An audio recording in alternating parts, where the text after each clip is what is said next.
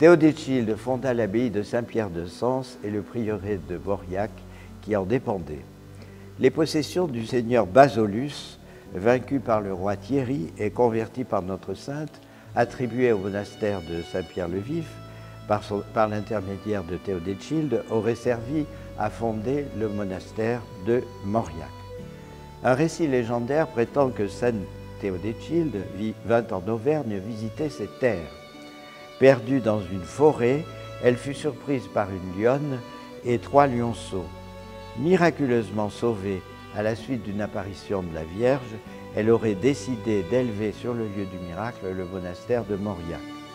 Un autre récit parle de la construction d'une chapelle en l'honneur de la Vierge où se produisaient des miracles et de la construction d'un monastère à l'emplacement d'un temple consacré à Mercure.